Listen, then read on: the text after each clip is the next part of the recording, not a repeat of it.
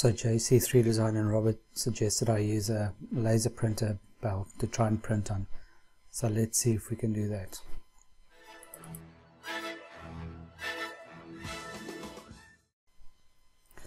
My brother Robert gave me these uh, laser printer parts. those, there's rollers you can see and in the box on the right is the belt.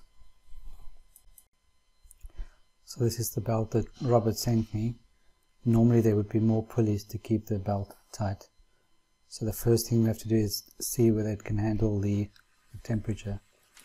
So I put the uh, extrude on 215 degrees and just press the plastic against the, the nozzle. And as you can see, it doesn't it hardly leaves a mark, so it looks very promising.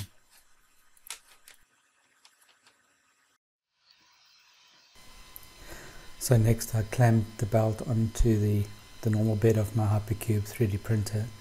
This with some paper clips, crocodile clamps. So you can see the first layer prints okay, but the, obviously the, uh, the, the belt moves around a bit.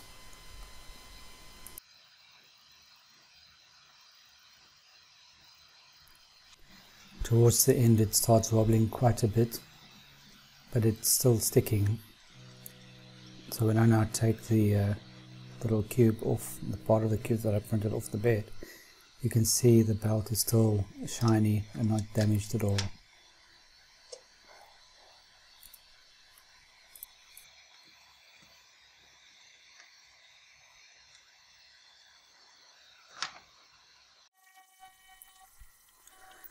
Next I printed a bit of a vase, so I'm just doing fast forward here. So you see the, the brim printing and then it starts printing the first layer. So obviously the first layer isn't perfect, but it is still still sticking. So this printer belt, this laser printer belt looks very, very promising.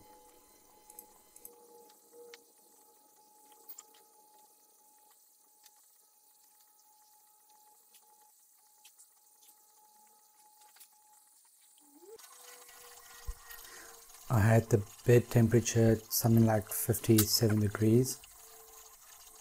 Because the laser printer belt's not tied down properly it wobbles quite a bit but you can see it's definitely not totally loose from the bed.